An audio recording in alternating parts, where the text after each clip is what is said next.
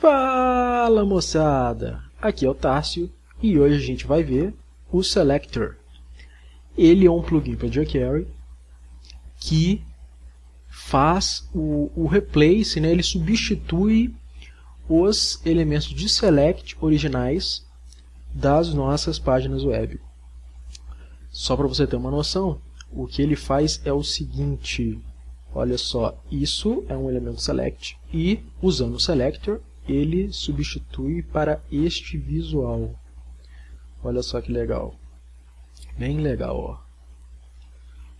Visual totalmente customizável, tá? A gente vai olhar daqui a pouco, mas muito melhor que aquele select padrão que a gente encontra. Com a vantagem também que, como cada navegador implementa de uma maneira o seu elemento select, com o selector a gente consegue padronizar esse visual entre as diferentes plataformas, entre os diferentes navegadores. Tá legal?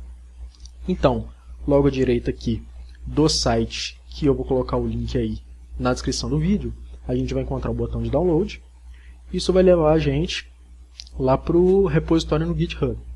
Então aqui, ou você clona esse projeto onde você considera mais conveniente, ou faz o, o, o download do zip mesmo e descompacta isso no lugar que achar mais apropriado. No caso, passando aqui para o Sublime Text, eu já descompactei aqui em uma pastinha para a gente brincar com ele. E a gente vai encontrar esses arquivos aqui. Alguns efetivamente são desnecessários. Por exemplo, o README. A gente tem aqui, se você não quiser estudar, quiser somente usar realmente aqui, você pode apagar o arquivo JavaScript não minificado e esse selector JSON também, você pode apagá-lo. Ele é um arquivo que, que para o uso não faz muita diferença. Tá? Eu vou deixá-los aqui por, por nenhum motivo especial, mas você pode apagar aí para não lotar, seja o, o, seu espaço no servidor, né? ou seja o seu repositório, caso você use ele para alguma coisa. Então, Olha só, pessoal, vamos criar aqui aquele nosso tradicional arquivo index.html. Vai ser né, o nosso selector test.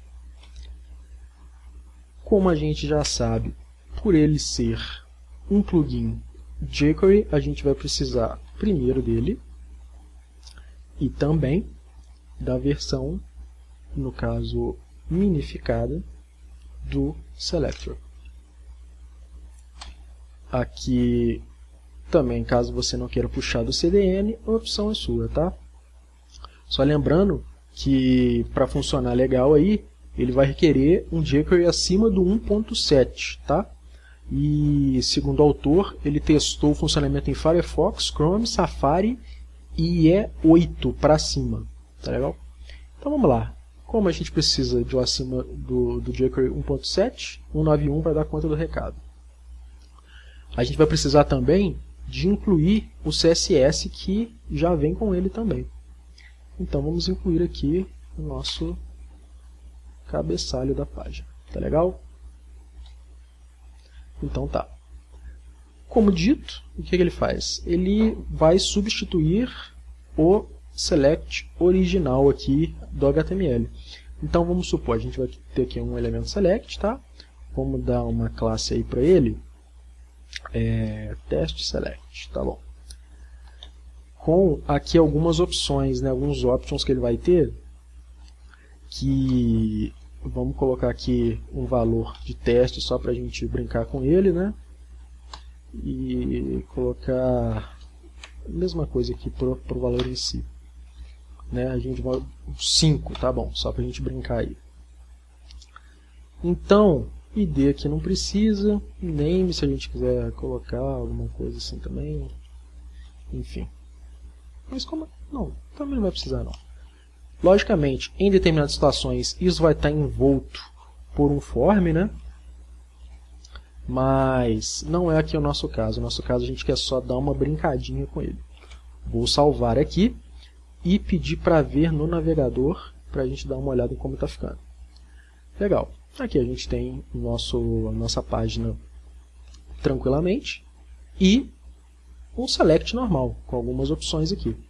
Como a gente viu no código, a opção tem seus valores e, e o label, vamos dizer assim. Né? Então o que acontece? Depois de incluir os arquivos necessários, vamos chamar o selector. De que maneira? A gente pode um, opa, a gente pode indicar que a gente vai querer pegar, por exemplo, só um, no caso se a gente quisesse usar aqui a classe que a gente usou, ou para todos os selects da página que provavelmente vai ser o que vai acontecer aí. Né? Então, é muito simples. Para iniciar ele, com suas opções default, a gente vai simplesmente chamar o elemento que a gente quer, ponto selector, depois de ter incluso os arquivos necessários. Salvei, vamos ver o que vai acontecer. Tá aí. Já em funcionamento, tá bom? já com um visual muito mais agradável e padronizado entre os diferentes navegadores e plataformas, tá? Então, bem, basicamente já, já, já ficou em funcionamento aí. Por poucos, poucos minutos aí e, e quiçá poucos segundos a gente já colocou ele em funcionamento. Mas vamos explorar ele aqui mais um pouquinho. Olha só, a gente pode passar algumas opções. Uma opção legal e muito útil, que é um callback para ele. A gente pode passar sempre que uma sempre que houver uma seleção do elemento, a gente passa um callback aqui e a gente pode brincar com o valor dele. Por exemplo, eu vou mandar ele colocar no console todo, todas as vezes que selecionar um valor qualquer. Tá? Salvei e vou mandar exibir aqui o nosso console. Tá? Tá aqui. Pode, fiquem olhando aqui para baixo. Vou recarregar a página. Vou mudar do valor e tá lá. Valor 3, valor 4. Lembrando que o que ele pega é o valor aqui, né? Propriamente dito, não o label que está aqui. Ele pega o valor que a gente especificou. Tá legal? É, Para ficar mais claro, vamos colocar aqui um, um body.value. Tá? Aqui a gente dá o nome que a gente quiser para esse valor, é só, só um exemplo. Né? Então, eu vou selecionar, tá lá. Tá legal? Bem tranquilo. Outra coisa legal que dá pra gente fazer aqui a gente dá, a gente pode colocar aqui uma classe customizada para o nosso elemento selector aqui. Então, ó, vou inspecionar o elemento. Podem ver que ele pegou aqui a classe que a gente especificou. Isso daí é muito legal, dá para a gente fazer várias customizações em CSS. Entendeu? Dá para você basear um CSS em cima disso definindo uma classe personalizada. Tá legal? Dá para a gente definir um label default, né? que eles chamam de default label. Então a gente pode colocar, sei lá, selecione alguma coisa. Olhando lá na nossa página, a gente pode ver que o valor aqui que veio por padrão é o selecione alguma coisa e a gente vai selecionar aqui como, como deve ser mesmo. Né? Isso em combinação com o cover, se a gente colocar aqui um true, olha que interessante. Normalmente, percebam o seguinte, cliquei, ele abriu as opções abaixo de onde está escrito selecione alguma coisa. Tá? Recarreguei a página aqui, olha o que vai acontecer. Cliquei, ele coloca o primeiro valor por cima daquele valor padrão. Isso aqui é, é, parece que está sendo começando a virar uma tendência, principalmente para elementos de UI personalizados, como é o caso do Select.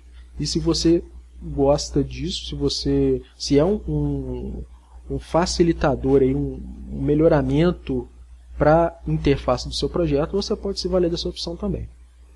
Tá legal? Uma coisa legal que dá para colocar aqui é o seguinte: é, se a gente colocar links como true, Caso um desses valores seja um link, então, por exemplo, ó, Google, aqui a gente vai colocar, tá? Alteramos aqui, vou aumentar um pouquinho o tamanho para ver melhor. Então, a gente colocou num valor aqui o Google. O que, que vai acontecer? Já salvei, carreguei aqui, ó, seleciono alguma coisa. Se eu clicar em Google, ele vai me levar até o Google automaticamente, tá? Tem toda uma questão aí de usabilidade e acessibilidade por trás dessa opção, mas não vem ao caso. Nem todos os projetos precisam se preocupar com isso, né? Se for o caso, você pode usar tranquilamente. E, se quiser, pode colocar como true essa opção external links, que ele não deixa de fazer a mesma coisa, mas abre numa nova aba ou janela, dependendo da configuração do seu navegador. Né? Então, beleza. Outra coisa legal que dá para fazer é um string options, que a gente pode especificar, por exemplo, 10 caracteres. Nas nossas opções, ele vai ficar limitado a 10 caracteres e depois vai cortar. Aqui não deu para ver. Ah, bom ter acontecido isso, tá, gente? Cuidado ao usar o, o links, porque se aqui no, no value de cada valor não for um link válido, vai acontecer aquele problema ali. Isso, o links combinado com external links é usado, né? Ele foi feito para ser usado quando a gente realmente tiver uma lista aí de páginas, tá? De URLs válidas. Mas o que eu estava querendo dizer é o seguinte, vou colocar um valor menor aqui só para ver. Vou colocar um 4, né, ridiculamente baixo, mas para ilustrar.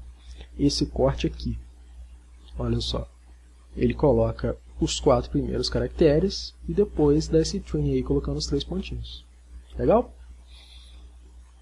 De novo aqui o, o problema. Deixa eu colocar aqui um valor qualquer e tirar aqui o link external link só para não, não correr o risco disso acontecer de novo. Mas o que, que acontece? Aqui também, é, só lembrando, tá gente? Aqui no CSS dele, ele é totalmente customizável. Você pode vir aqui e mexer e brincar à vontade com ele. Pode ver que ele já tem uma preparação aí para o web design responsivo. Então, ele já tem alguma coisa por padrão e dá para você colocar o que for necessário. E ele é totalmente customizável aí, todas as partes, olha só. Dá para a gente definir a cor, definir tudo o que o CSS oferece, dá para a gente colocar, tá? Lembrando que, que ele trabalha também com selects múltiplos, tá? Ele trabalha sem problema nenhum. Então o CSS está aí para você colocar ele no esquema do seu projeto, adequar ele ao esquema do seu projeto. Lembrando aí que a gente também já fez alguns screencasts a respeito de como definir cores em um projeto, tá? Clica aí nas miniaturas que estão aparecendo que você pode conferir esses screencasts também. Então, é, continuando aqui, só para saber, ele também tem alguns métodos interessantes. Por exemplo, deixa eu recarregar aqui para tirar esse valor de twin. Né? Vou aqui no console do, do Chrome, ó, fui aqui para baixo, tá? prestem atenção aqui na parte de baixo. Olha o que, que dá para fazer. Ele tem, eu vou fazer aqui no console, só que, logicamente, você pode fazer aí em algum evento, né, num, num clique ou o que quer que seja no seu código JavaScript, você decide. Né? Então, vamos pegar o select, olha o que, que dá para fazer. Se a gente colocar, chamar né, selector, disable, ele desabilita o selector, conforme o seletor que a gente escolheu aqui, tá? Aqui no caso a gente pegou todos os selects, mas caso você tenha inicializado através de um ID, de uma classe, enfim, você consegue ter um controle sobre isso. E, como não poderia deixar de ser, tem um enable, que faz ele voltar. Então, isso é muito interessante pelo seguinte, em formulários um pouco mais complexos, você consegue habilitar e desabilitar um select com selector em cima, conforme a opção que a pessoa escolha. É, isso é muito comum em formulários mais complexos, né, formulários um pouco maiores. Então o plugin provê essa opção também. Caso você queira destruir completamente, isso aqui não, aqui ó, só, só para destroy, tá? Ok? Voltou o valor padrão dele. É, não, não vejo muita utilidade nesse método, né? Não, não sei bem assim qual, qual foi o objetivo do autor. É uma opção a mais também, né? Ele tem um outro também, que é o diffuse, né?